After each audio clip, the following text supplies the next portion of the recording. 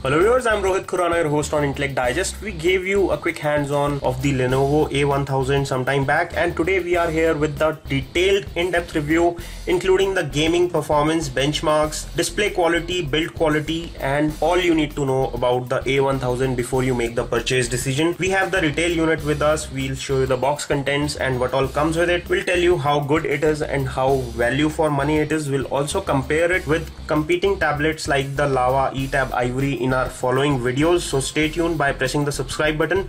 To start with this review I'll start with the build quality and form factor first. The Lenovo A1000 is a 2G tablet. First of all there is a front facing camera at the front with 1024 by 600 display resolution. This is a widescreen aspect ratio but this is not high definition. It is somewhat less than the high definition when it comes to display resolution. The display quality is good. This is an IPS display and you can see it from steep angles. There is too much light here for the reflection but otherwise this display looks very good for normal day-to-day -day usage. In bright sun it may not be very much visible but overall the display quality and the color quality is pretty impressive for a device under 8 to 9000 rupees. There is a front facing camera of 0.3 megapixel. There are two speaker meshes which you can see here. So there is one on top and one on bottom. This is a dual frontal speaker that you find only on premium devices and it gives Dolby digital surround effects which come inbuilt Talking of the build, it is made up of high quality material and there, inside it there is a metallic cage to protect the interiors of this tablet. There is no rear camera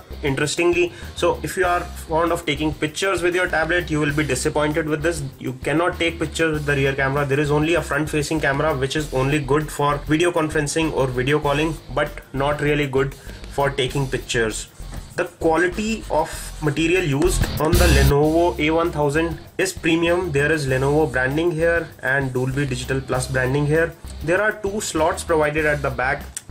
This is the SIM card slot where you can put a regular size SIM card for your calling as well as 2G data browsing. It does not support 3G but it does support calling as well as 2G and edge data. There is a micro SD card slot. This slot can be used to expand the memory. There is only 4GB internal memory. You can add memory by adding a micro SD card depending on your multimedia requirements.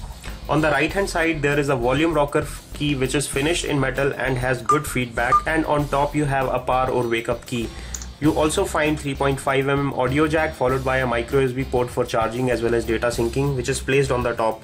Bottom is fairly clean with a small mic hole for your voice calling and video conferencing etc you cannot do 3G video calling. It supports only video calls using the Wi-Fi. Since it supports only 2G data so you cannot actually do video calls using the 3G connectivity because it does not have 3G it has only 2G or edge data connectivity. It feels fairly handy at around 3 to 400 grams weight.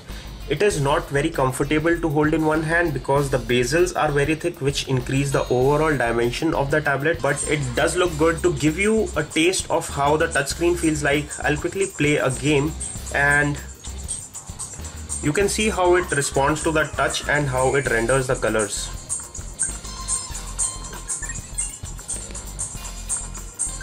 So as you can see the touch quality is very good. It responds very smoothly and very sensitive to touch.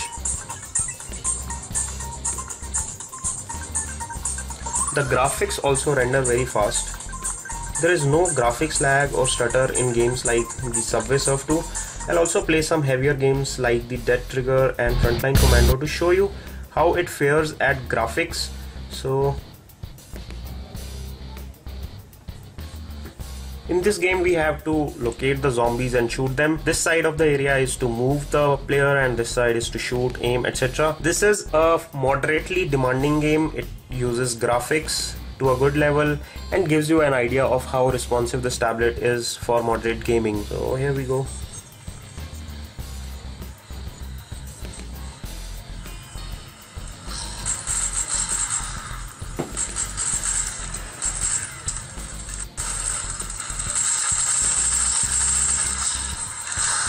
One thing which is very noticeable is that the sound quality is impressive. The dual frontal speakers do a very good job, much better compared to any other speakers that we have tested on a tablet which is under 10,000 rupees.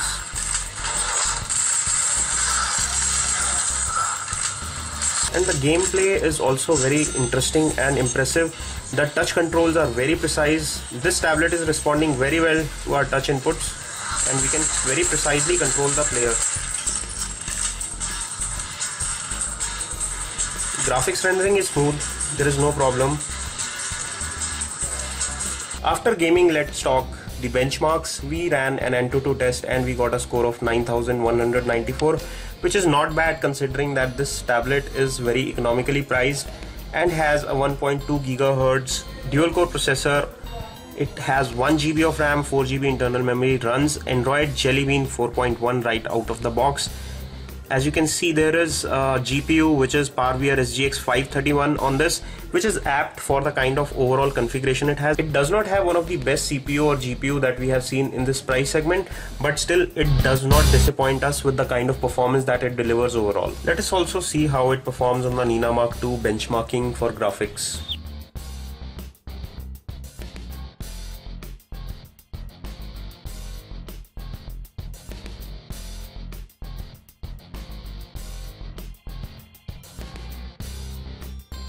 So when it comes to graphics, it gives a frame rate of 22.8 frames per second, which will give you smooth gaming for most of moderate games, but for heavy games, it may not be enough. So will not suggest this. If you're a heavy gamer, you should stay away from this tablet. But overall, as a proper value in terms of the price segment and the kind of features that it has on the offer, it is still a very good option. To give you a fair idea of the multimedia usage, I'll quickly show you a video from our channel to show you how the video consumption actually feels like on this tablet and how it streams the videos from YouTube. This is playing in high quality and I have turned the volume to maximum so that you get a good idea of the power of speakers that it has on the offer. Hello viewers, I'm Rohit Khurana from Intellect Digest. Today I'm going to give you some quick tips and tricks of the Samsung Galaxy Note 2 this is an incredibly powerful device. The audio is very loud, the colors come out to be very good and it does not fade even on steep viewing angles. So you can still see the screen. When it comes to video consumption it is really impressive. Let me also give you an audio playback so that you can sense the kind of uh, music playback it offers. There are lots of uh, Dolby digital effects that it offers.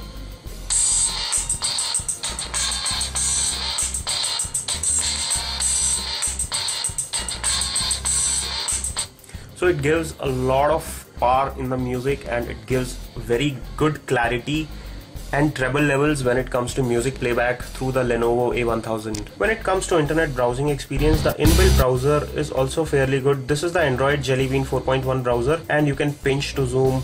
You can view the websites very clearly and the text is also fairly easily readable.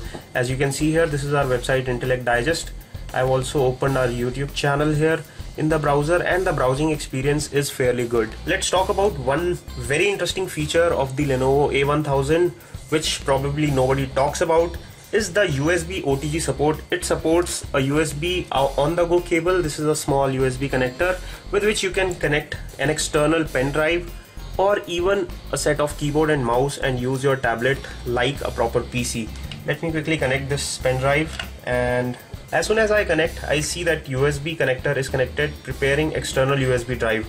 Once it shows that detects the drive, I can play music and files right from this pen drive onto this tablet without even transferring any data onto the tablet. Let me disconnect this and add a USB keyboard and mouse dongle.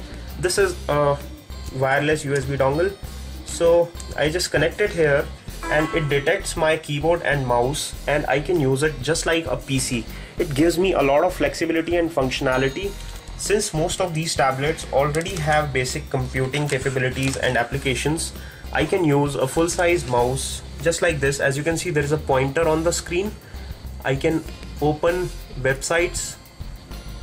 I can go to browsers and start typing using a full-sized keyboard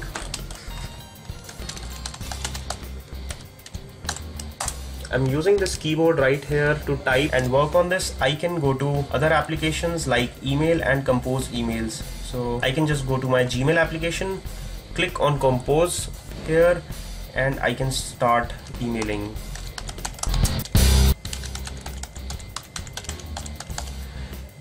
I can also add attachments by clicking this attachment icon. I just open gallery, select a picture I want to attach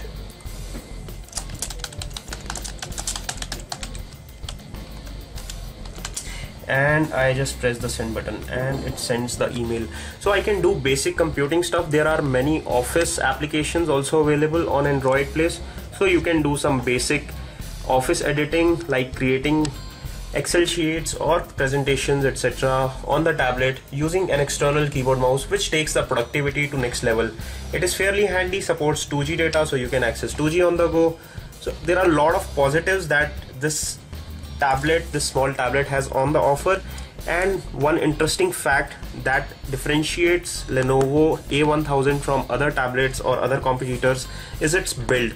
It has been built to last with a lot of toughened materials. There is a metallic cage inside to protect the casing or the circuitry of this tablet. Even if it falls down, it is less likely to break compared to its counterparts. Talking of the box contents, it comes with a standard USB to micro USB cable, a fast wall charger which charges it quickly. It has a large battery of 3500 mAh which should last for at least 1 to 1.5 days considering that it does not have 3G data it has 2G which consumes lesser battery. Sadly it does not come bundled with any earphones you may want to use earphones because this is fairly bulky and you may not want to put it next to your ear you can separately purchase bluetooth headsets and pair it with it and you can use the bluetooth headsets or a standard wired earphones you can connect with the tablet and use it for accepting or rejecting the calls or even listening to the music. The music quality using standard earphones is also very good. We have tested it since it has Dolby Digital Plus algorithms for sound.